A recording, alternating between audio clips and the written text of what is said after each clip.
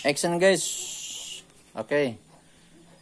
Selamat siang semua sahabat di mana pun anda berada. Terima kasih ya yang sudah mampir di channelnya Anwar SJ Channel.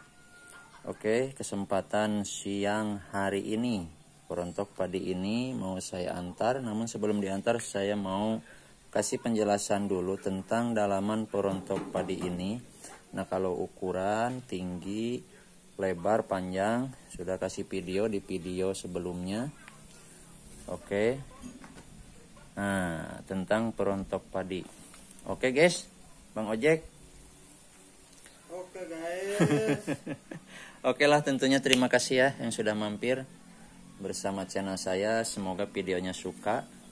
Kalau masalah subscribe itu tergantung sukanya rekan semuanya ya dan adapun yang senang dengan perontok padi ini bisa langsung di chatting lewat kolom komentar.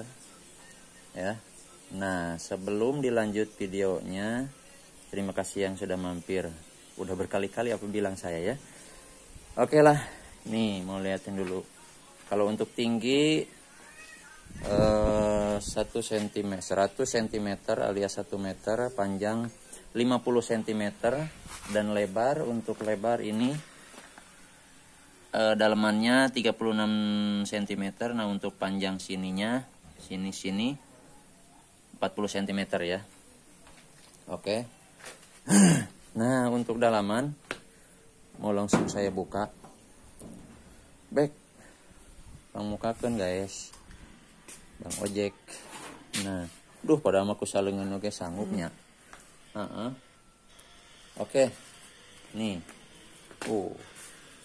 Jadi diputar satu jari aja langsung uh, putarannya langsung kenceng atau namanya hampang ya. Oh, hampang aduh. Sorry ya. Uh, sedikit campur-campur bahasanya. nggak apa-apa. Wong saya orang Sunda begitu ya. Langsung ke tutorial dalaman perontok padi mini ini dengan pembuangan pakai jari-jari dua jari. Nah, mungkin yang mau bertanya silahkan kenapa ini dua jari. Untuk di bagian sini, pertama saya mau bahas gigi dulu ya. Gigi ini banyaknya 30 biji. Per satu ininya 6 biji. 6 jajar 1 2 3 4 5 6 ya untuk sini 1 2 3 4 5 5 kali 6 berarti 30 ya. Nah terus untuk jarak gigi ke besi sarang ini ya kalau untuk pemasangan sarang di video kemarin saya sudah kasih videonya. Untuk pemasangan awal sampai pemasangan akhir ke sini.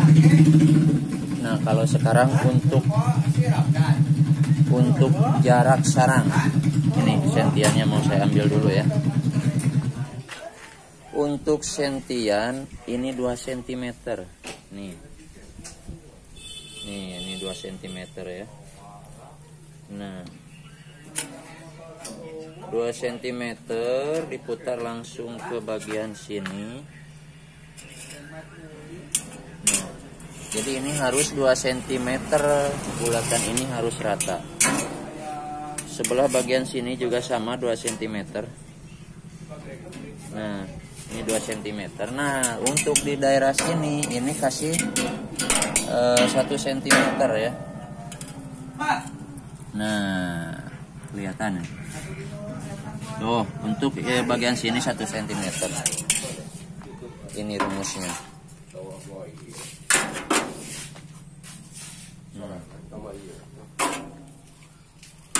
diantarkan kan nih back untuk bagian jari-jari ke daerah Cikuya Jo. Uh -uh. ini ngadaguan Mang Jaja pan. Mang Jaja. Bari ngadaguan jelema biasalah nyen video hela begitu Bang Jul. Bang Jul channel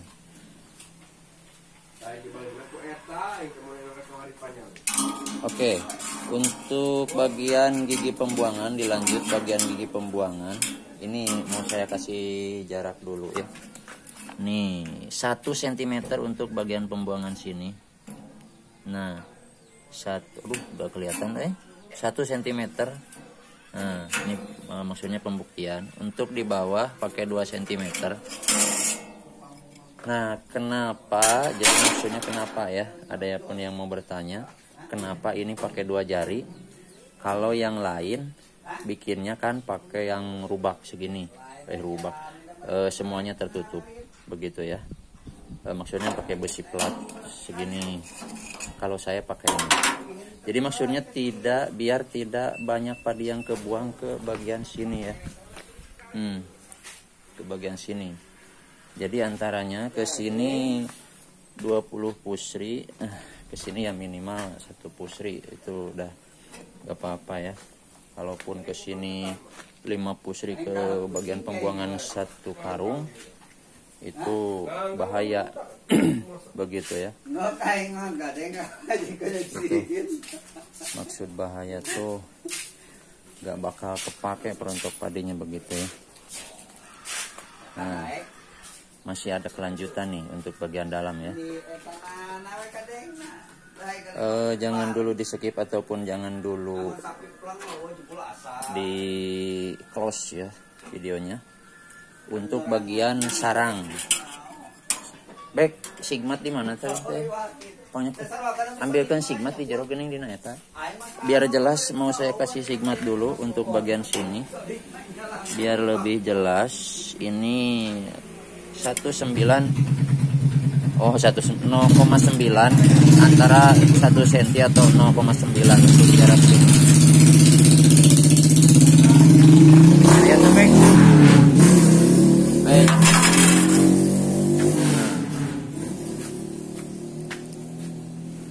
untuk jarak jarak sarang.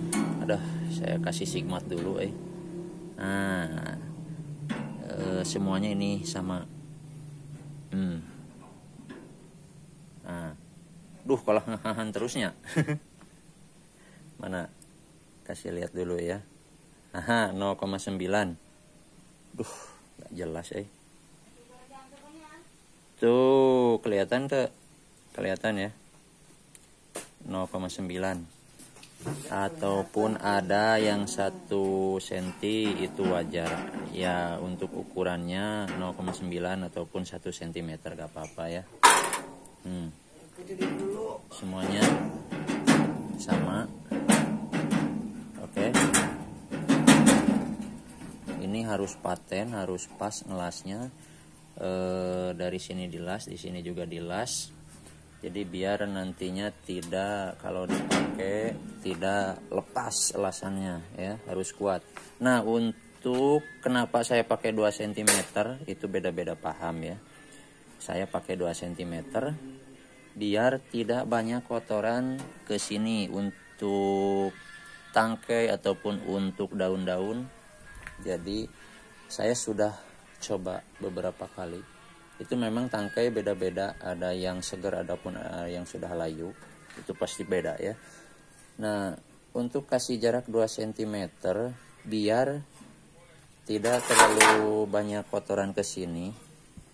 Jadi kalau untuk rapat ataupun rapatnya 1 cm itu atau malah lebih atau setengah sentimeter itu otomatis banyak kotoran. Karena si, si gigi sama sarang ini terlalu rekat itu terlalu banyak kotoran. Dan juga kalau terlalu dekat banyak padi yang ke bawah ke bagian pembuangan sini ya.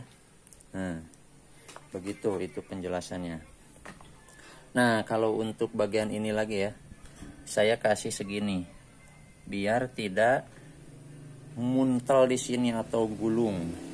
Jadi harus cepat keluar. Jadi jangan sampai e, ke bawah lagi ke putaran balik muter terus. Jadi dikasih banyak masuk dari sebelah kanan terus ke sebelah kiri itu harus cepat keluar ya. Jadi si padi tidak akan ke bawah lagi muntel ke sini. Ini pakai jarak. Nah.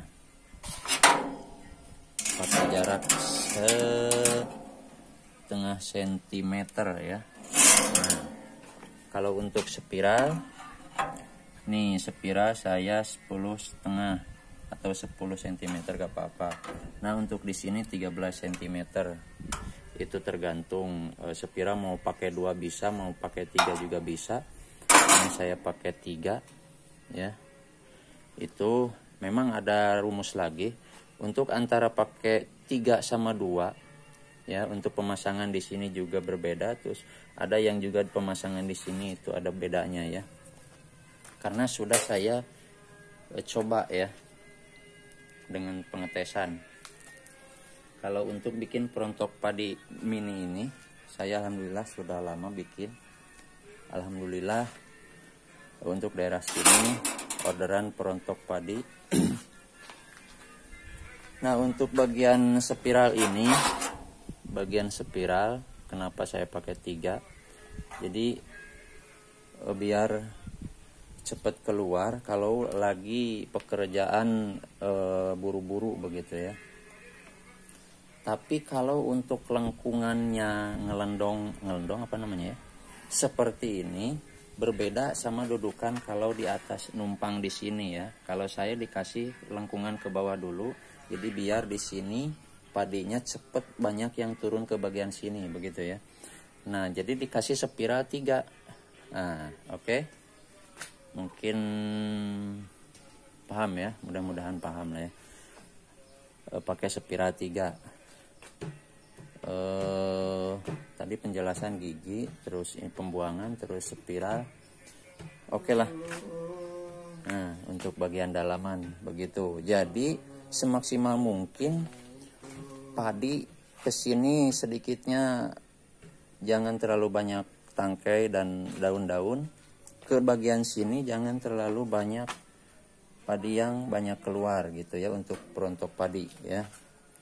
Berbeda lagi sama peruntuk yang besar begini yang satu meter. Itu beda spiralnya juga beda banyak. Tapi untuk daerah sini jadi kebanyakan maunya yang digotong. Digotong ini namanya ya? Baik digotongnya Apanya? bahasa Indo digotong. Uh, ojek kalau ngegelehe eh. ada. Oke lah. Jadi untuk daerah yang rumpil begitu ya. E, seperti daerah pesawahan pegunungan ataupun daerah pelataran yang luas itu kan bisa digotong lebih simpel beda sama pakai roda gitu ya. Dan harganya pun ini murah meriah. Gitu kan untuk bahan pelat. Bahan pelat saya menggunakan pelat tebal tapi e, ringan. Untuk berat berat ini 32 kg sudah kasih saya oh, sudah di kilo oke ini mana contoh eh? Coba yang ini ya. Ini perbedaan saya kasih lihat dulu. Ini yang tipis. Nih mana lagi eh? Nih yang ah yang tebal main ini. Itu perontok padi juga ada ya. Nah jadi ini saya kasih yang tebal. Ini perontok padi juga yang penurunan ke bawah mesin. Hmm. hmm. kasih yang tebal. Mau tahu ini ketebalannya? 0, 0,9 ini. Eh 0, oh iya.